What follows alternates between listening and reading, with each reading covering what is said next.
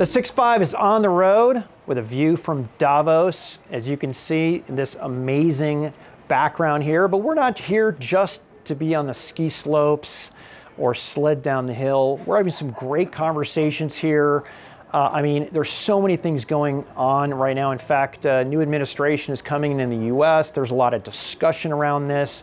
We have this ever-present question about regulation, uh, and there's innovation discussion at these at uh, at the conference as well, particularly around uh, generative AI, things like sustainability. And with that said, I'd like to bring back on the show. Rob Thomas, welcome back to the 6-5. Great to be here. Great to see you both. And uh, how about Davos? Great to be here. I know, huh? it's great to be in Davos. Feels good. Just for the ski slopes. I didn't do any skiing, man. I don't know about you, but. Yeah, just, you know, had, had to throw that in there. there. Uh, did, did, my skiing while so, so, Rob, a lot of stuff going on here at the show. Um, I'm curious, what are your objectives at the show? This customer, governments, what do you want to get done here?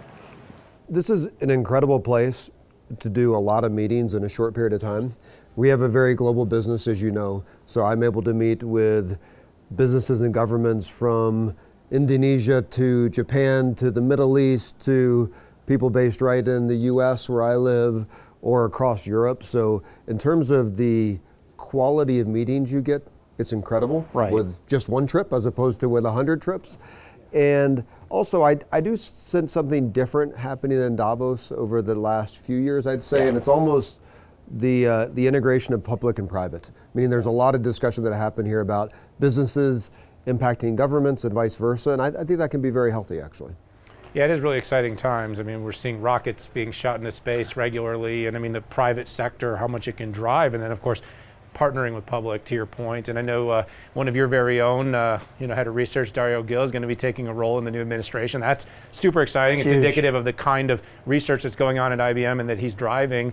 Um, you know, since we're talking a little bit about this, you know, um, love to get your take. I mean, I know new administration, that often means a lot for someone like you driving and leading such a large company. Any big thoughts on kind of this next four years and what you kind of really hope to see out of a Trump administration that might be strong for AI? Or, you know, we hear about blockchain and crypto, we're hearing about uh, possible M&A. What are some of the things that you're thinking about? First of all, we're super happy for Dario Gil. As you mentioned, he was nominated as Undersecretary for Department of, Department of Energy, which runs all the national labs, that type of thing. So uh, we will miss him, but super happy for him because it's an exciting area to be on the, I'd say, leading edge of what's happening in science and technology in, in the U.S. and around the world. I think the thing I'm the most hopeful on as you look out the next four years is less regulation, meaning business friendly environment. We want to be able to create growth, create jobs, do M&A, and I think the incoming administration gives us a lot of opportunity to do that. So really excited about that. Growth solves every problem. And so good for the US if the US gets growing. You know, the difference between 2% GDP versus two and a half or three, if we could possibly imagine that, has a remarkable impact on a per capita basis. And so to me, this is all about growth. Yeah, speaking of growth, I mean, one of the big theses of, of, of, what could drive that growth is obviously AI, and the latest flavor being generative AI and even agents, uh, which I think we all believe is, is an incredible economic opportunity and a, and a growth driver. Uh, I want to ask you, um, you know, you have a lot of meetings with your clients, you, you get a certain read of, of where they are. Uh, a lot of folks have done their experiments. Uh, they've done some POCs. Uh, and now it's this next jump to really scaling it, enterprise-wide, government-wide. And I'm curious, what is the read you're getting on, on what help they need the most and what, what are you doing about it to help solve those? I think 2025 will be about value creation and AI and think of it as almost. So, so like, actually creating it. No, creating value with AI. Okay, okay. So value creation, meaning can you return to the top line or the bottom line of your business? Think almost like a curve. We did a lot of experimentation. You acknowledge that. Then many started down this path of we'll do RAG, we'll do fine tuning. Right. I think we hit a tipping point somewhere last year where companies could actually see a return on automation of technology and operations. Right. Starting to see that happen. Then that goes into code, which is starting to happen. That goes into AI assistance. That eventually then gets to agents. So I'm not really a believer that the only answer from here is agents. Right. I think this is a curve where you got to do a little bit at each point, and but we have to get past this point of experimentation. Sure. Yeah, that seems to be the big opportunity. We've done some assessments of the market. You know, we've looked at, and by the way, uh, Arvind was one of the early ones that kind of called out. I call it the prune to grow thing, and I know it was sort of one of those things that I think the a lot of the the media kind of misunderstood. But like at first, when you look at any new technology, you start to immediately look at where do we take out costs, where do we become more efficient, how do we, you know, immediately get some return. It makes it easier to invest. We're seeing four trillion in opportunity from agents and, and generative AI to be pulled out. The next, though, is how it sounds like you're kind of looking at, Rob, is kind of how do you put those dollars back to work to create scale like every industrial revolution in history has? I think that's where the message sometimes gets misinterpreted like, oh, you're just going to get rid of $4 trillion of labor. Well, we want to upskill, repurpose, improve. I mean, are you sort of, you know, starting to see that? Because it feels like the first generation was POC, but it was also like, what redundant, monotonous, repetitive things can we get out and use agents and use generative and use assistants for? Just kind of curious your take there. I think my time may tell um, that maybe the biggest benefit of AI becomes speed and how companies can deliver. We had a, a lunch right before this with a number of C-suites from around the world, and like two examples. One was uh, a pharma firm that said we've gone from we have to put a thousand things in motion to get one to now we can narrow it down to 12 because AI is becoming more part of the process. So that drives a ton of speed. If you're not doing a thousand experiments and instead you're doing 12, that's a dramatic difference. The right 12 is what they're saying, right? Like the right The 12. point is, yeah, there's enough signal now from the analysis they can do to make sure that you're going to have higher odds of impact. Another one was a manufacturing example that said, you know, we can cut cycle times from six months to four hours. You can cut cycle times. That that drives massive leverage and speed in a business, and that's because AI can do things in partnership with humans that humans cannot do on their own. And I think that's probably the biggest promise of what can happen here. Rob, what I meet a lot of CIOs that, that say that they're having a hard time doing that sorting mechanism, going from that 100 to that to, to that 10, and it's really a conversation about ROI. Uh, what is your guidance uh, to folks who are in that situation? Maybe not as enlightened as the folks that you, you just had your lunch with. You should not underestimate the cultural impact of trying to do something on AI. Because let's be blunt, it will disrupt how you do things. Right. It will disrupt some amount of your skills, some amount of your employees. Right. If if you are scared of that or let that be a deterrent, then you will quickly fall behind. I'd say the positive side of that is every time there's been new technology in the world, ultimately it's created more jobs. Sure. It's really been the forcing function behind people building new skills. I think people have to lean into this. But I do still talk to people that are a little worried, well, if I do this, then I actually I need a smaller team. Maybe that's okay in the short term, because that way we have a bigger team in the long term. Sure.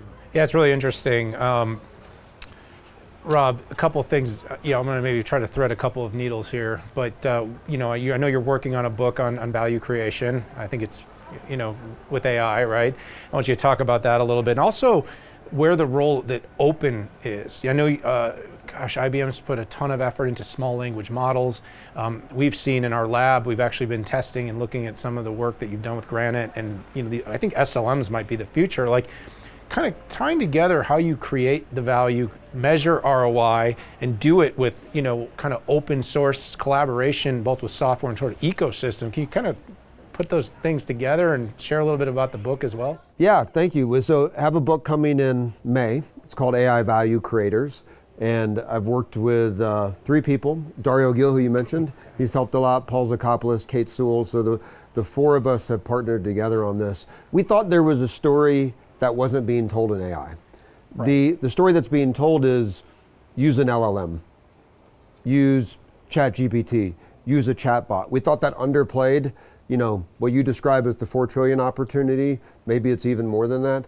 So think of this as a playbook for anywhere from the C-suite to a developer for how to think about what's happening in AI, how you get value out of it, the connection between data and AI sounds obvious to you guys. It's not obvious to every company, I would say. You know, step one is often make your data ready for AI, sure. I would say.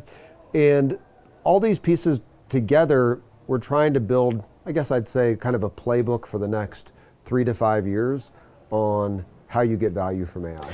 Yeah, Rob, recently, and I don't know if it was just the fourth quarter of last year that these conversations started to pop up, but uh, the CIOs were saying, okay, I got my data in alignment. I did some incredible magic tricks. I figured out RAG. I either did a lot of RAG or I did an SLM or some combination, and this thing works. Like, like, but I can't get the people in the company to, to use it and adopt it. Are you addressing that with your in, in your book? Uh, any tips and tricks for how that? Because this is a new one that has popped up for me. In fact, uh, Fortune 50 tech company CIO had a conversation with. Like, it works, it's amazing. I can't get my people to use this thing. I think it comes down to there's the cultural issue we talked about. Right. There's also a skills issue, and there's also just a change management issue.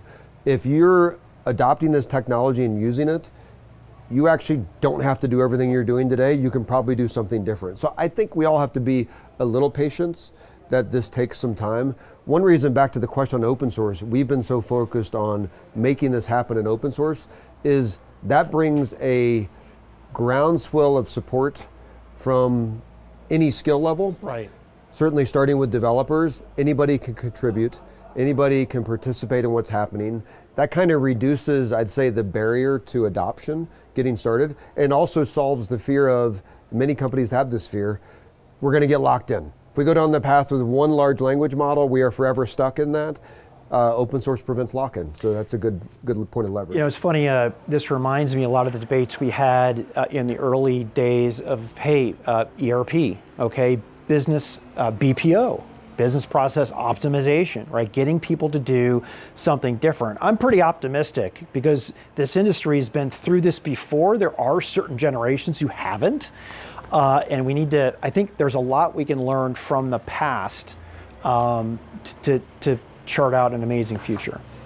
To give you a sense though, in our own story in IBM, we shared last year that we've driven $2 billion in cost out of the business through using AI. So I do think it helps us credibility wise to walk in and tell people this is how we're doing it. Sure.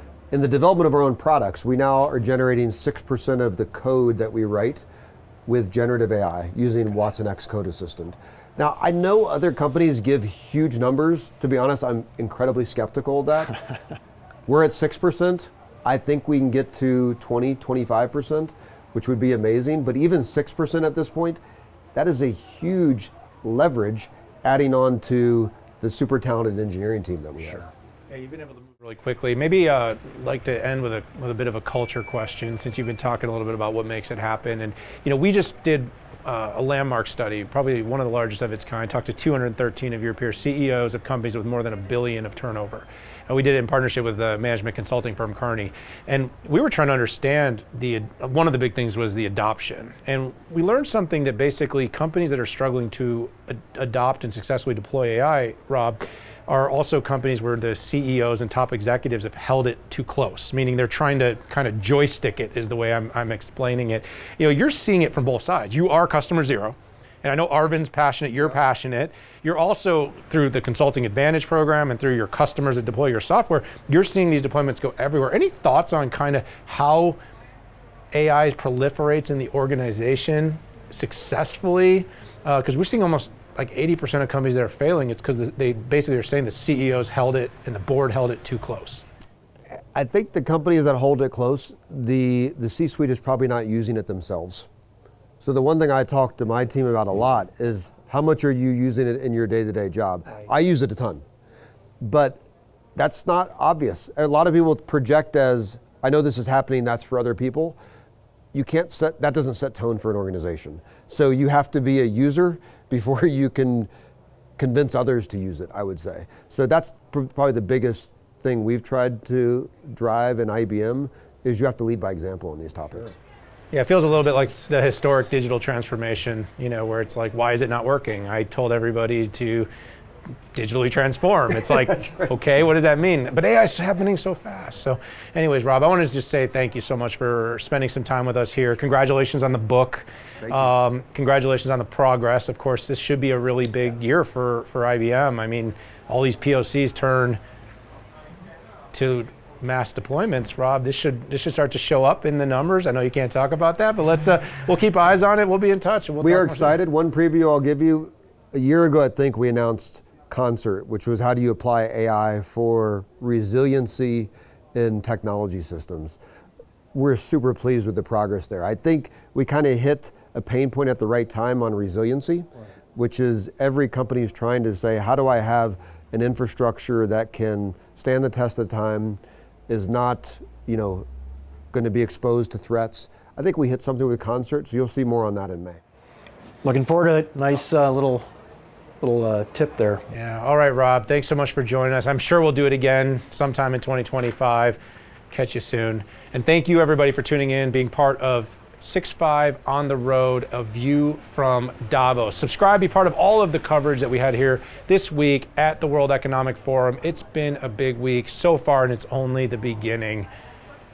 But for now, we got to say goodbye. See you all later.